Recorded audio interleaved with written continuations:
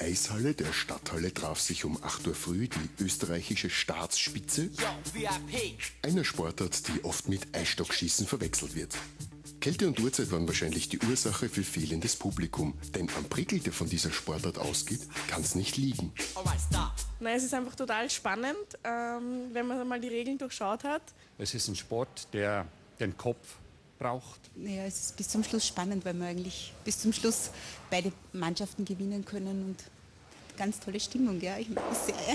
Die große Begeisterung im Curling ist einfach, wenn sie vier Freunde als Team zusammenfinden und dann Curling spielen. Neben Begeisterung braucht es auch warme Bekleidung, 20 Kilo schwere Steine und glattes Schuhwerk. Ausrüstungstechnisch, was ist da noch Ganz notwendig? wichtig sind die Besen. Es wird ja auch genannt das Spiel mit Stein und Besen. Damit die Steine besser rutschen, ist ja doch da. Sobald ein Partikel Schmutz am Eis ist, äh, wechselt der Stein seine Bahn.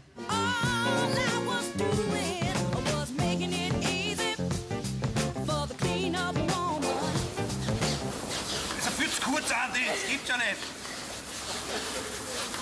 Glauben Sie, es ist von Vorteil, wenn man eine Ausbildung als Reinigungskraft hat, wenn man Curling spielen möchte? Was stellen Sie denn für Fragen?